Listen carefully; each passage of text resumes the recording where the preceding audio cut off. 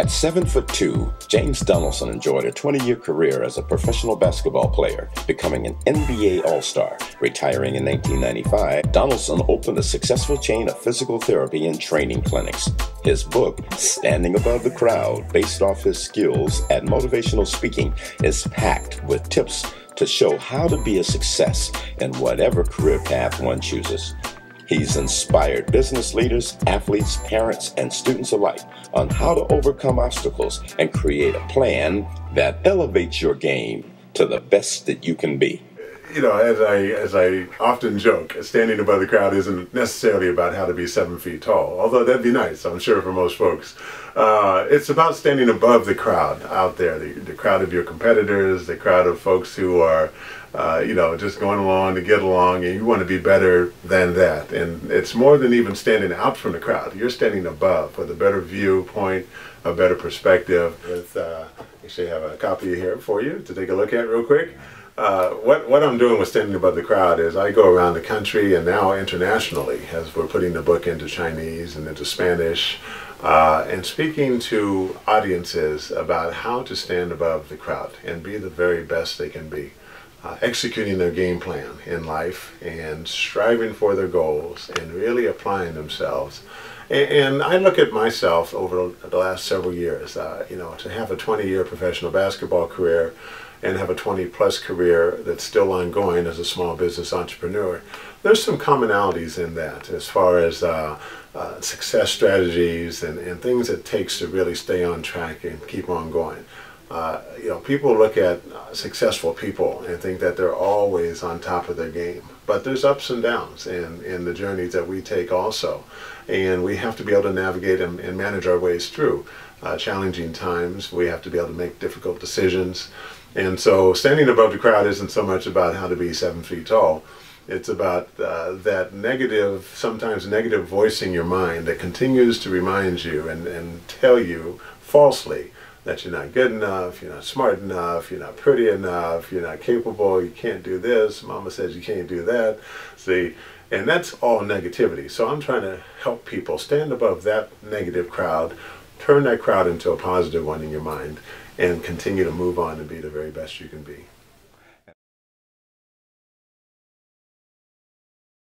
And I know even, you know, as an athlete, I knew for sure I wasn't the, the best basketball player out there on the NBA courts. There was always somebody who could run faster, jump higher, shoot better, rebound better, block shots better. You know, but I wanted to be able to compete. And, and I was able to push myself and train myself to compete at the very highest level. And so I want to do the same as a published author and as a motivational speaker. Uh, there'll be more books to come. I, I love the genre of inspiring and motivating people.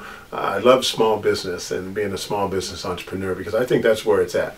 Uh, if we can uh, help more people to see that uh, the ability to go out there and run your own show and run your own business, put together your own team, your, game plan, and stay on track and make that a success. Uh, there, there's so many rewards in doing such. Uh, and I think it's also a positive message to a lot of our underserved communities uh, that we can do these things and we have the ability to do anything that we put our minds to. We, you know, we're all, we're all talented, we're all skilled. And so now it's just a matter of okay, taking that talent, taking that skill, and applying it, and really pushing ourselves to fulfill fulfill the potential that we have. Me, you know. Well, you know, I have a, uh, a top 10 list in my book, Standing Above the Crowd, for small business entrepreneurs. And one of the top 10 uh, uh, bullet points is that realize early on that you don't know everything. See, so once we get over that hurdle and realize that, okay, I need to reach out and I re really need to form a team who could help me complete the mission and, and the objective I have at hand. Uh, you know, I think I think it's human nature to to take it upon ourselves and not ask for help until we really, really, really need help. But I want to just encourage people to surround themselves with positive and, and motivational and inspirational people from the start. I realize a lot of our folks in our community uh, come from single female headed households. I know that. I know a lot of our families are struggling and near poverty. Okay, but you take the situation that you have and then you add to it as many positive elements as you can find a positive person to put in your life if you don't have a, a father or a mother at home. Uh, find, you know, one of your teachers at school who can teach you a little something extra once this class is over, help you with your homework. Find that coach who can see that athletic ability in you and, and have him or her train you and teach you and show you a bigger picture to fulfill, fulfill the potential that you have, just as my high school coach took the time to really help me tap into that vast well of potential that I didn't even know I had as a high school student. But my coach knew it. And he said, James, I see something in you, and you have the ability and the talent and the potential to really move on to the next level, to the next level, to the next level. And so I encourage all of our listeners out there to find that kind of person. Doesn't have to be a person who looks like you or same age or same income, same age. It doesn't have to be anything like that. Just somebody who's positive and somebody who has your best interest at heart.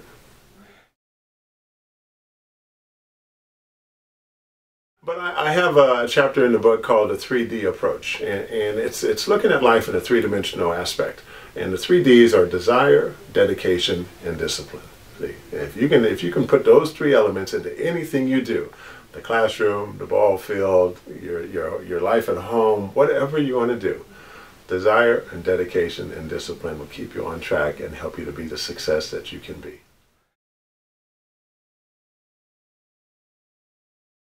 Well, I think when a person puts the time in to prepare themselves to take on whatever tasks it's, going to be in front of them, uh, that helps kind of soften some of that intimidation and some of that uh, doubt that you may have that creeps upon you. Uh, I write a great story in, in my book, Standing Above the Crowd, about my very, very, very first NBA game uh, in Seattle, in the Kingdome, playing against the Los Angeles Lakers and Kareem Abdul-Jabbar. So, Coach Wilkens calls me in off the bench you know, second or third quarter. I can't quite remember the time of the game, but he calls me in off the bench and he says, "James, go get Kareem." And you know, I I, I didn't didn't understand this was going to be my moment. I, I didn't think I was going to play it, being a rookie in the first game.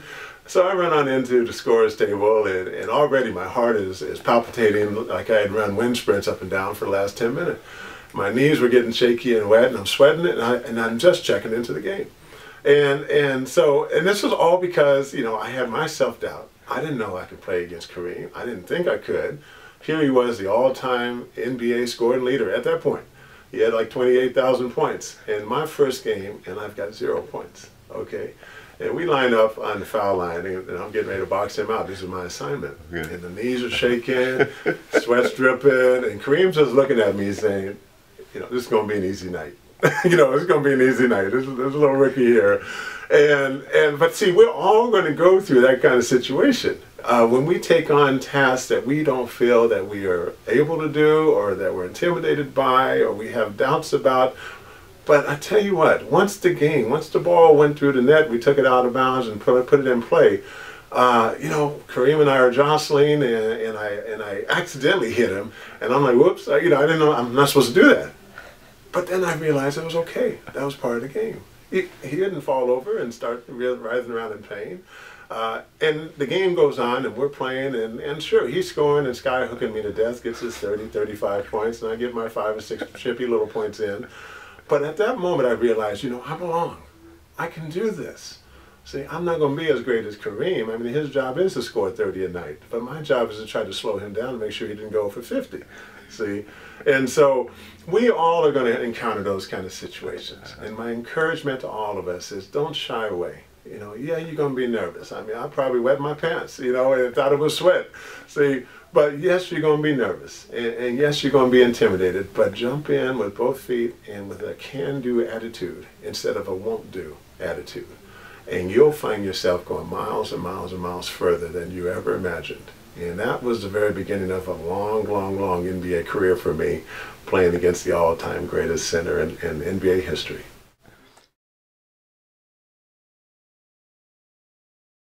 Well, it's it's really geared towards small business entrepreneurs, but it probably applies to any, anything and everybody. It's a top ten list, a top ten playbook, I call it, uh, in in the book "Standing Above the Crowd," and it starts out with things such as have a vision. I mean, I mean, start to understand what it is you want to do. Okay, and, and I and I encourage young people especially. I mean, start even in elementary school. You know, we all talk about being the policeman, the fireman, you know, the banker, the accountant, all these things uh, when we're really, really young. But we don't really start understanding what that's all about until we get to high school, college. So young people, start thinking about what it is you want to be and then start putting a game plan in place on how you're going to get to that point. Other things are create a team. Uh, if you're a small business owner, you're going to need an accountant. You're going to need a, a, a financial advisor. You're going to need an attorney. You're going to need a tax person. You're going to need you know all these kind of people on your team, and you be, and you have to be able to listen to your advice and your advisors. Uh, they can tell you what you ought to do. The, the choice is still going to be ultimately up to you. Uh, also, things such as realize early on that you that you can't do everything. See, a lot of us wear many different hats in our small businesses. We turn the lights on, we're the janitor, we're the cleaning person, we're the retailer, we're, the, we're working the cash register, we're running the catering service. We're doing everything from start to finish. And so you have to realize at some point you can't keep on doing everything, burning that midnight oil. So find help, get help, and add to your team to help you out to be even better than you are. Uh, another is realize early on that you don't know everything. See, a lot of us go into these things thinking that we know it all. We've had a couple, couple semesters of business 101 or what have you, and but you know, so much of learning how to run a successful small business is the on-the-job training, the real life experiences that, that a textbook doesn't teach you. Um, another one is find your MVP. See, on every team, there's somebody who's the MVP. Uh, in this this uh, context, I call it the most valuable person. Um, and, and for me in my business, I have the Donaldson Clinic up in Seattle, which is a sports medicine and physical therapy clinic. I'm not the MVP. See, my MVP is my right-hand assistant who's been there all 22 years, Rosemary Bennett, and she continues to run that business as, is, as if it's her own, for one thing, but also to perfection. And so she is the MVP without a doubt. It's somebody typically who is in the trenches every single day or in the back room really making the engine of the business keep on running for you. So those are just some of the top 10 plays that, you, that every small business entrepreneur ought to, ought to know. You know, back when you and I were growing up, see, it was it was the pastor over at the church, you know, it was uh, you know the the older woman sitting in her windowsill watching the neighborhood. It, it, was it was mom, it was it was papa. You know, it was it was family and it was community. And uh, see, and over the last 20, 30 years, it's been more you know, your entertainers, your rock stars, your your athletes. Uh, who are in many cases so removed from the life that you're actually living uh, and we're looking upon those kind of folks so many times, hoping that they're going to come and, and help us and bail us out. Uh, many times now they are doing things in their own communities uh, that we don't know, and that's fine. Um, but I think sometimes uh, you know the expectations we place upon athletes and role models uh, of that of that nature. Uh, you know, Charles Barkley had a commercial 20, 30 years ago. I am not a role model. Remember that? That's and so he was speaking the truth. Yeah, you know, right. he didn't yeah, want to be your role model, but we want him to be our role model. See, and, and why is that?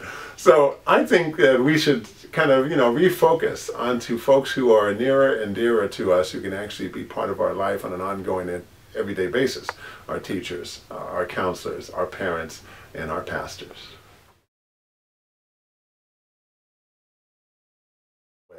So my, my dad, an old military guy, 20 years in the Air Force, 20 years in the post office, uh, you know, he just really set the standard for me. Set a bar to a point that was, was the bar that he rose to every single day. And he had that expectation for me and my siblings alike. And once I was able to start, you know, pole vaulting over that, I just put the bar up a little higher and just say, hey, let's just keep on going and, and thank you. I, I, I dedicate my book to my father and I appreciate him every single day. Wallace.